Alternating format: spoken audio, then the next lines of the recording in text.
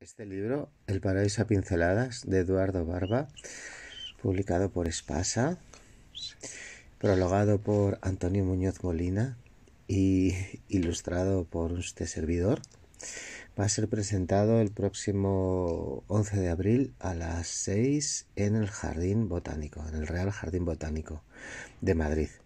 Y como, como el símbolo de Madrid, uno de ellos es el, son los madroños, pues he elegido esta ilustración para, para comentároslo, para, para anunciar esto.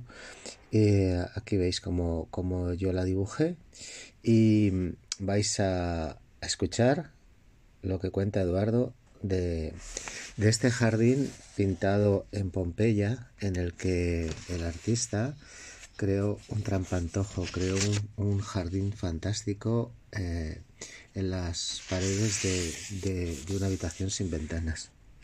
Dice así, a la derecha de la fuente tenemos otro prodigio de planta, un madroño.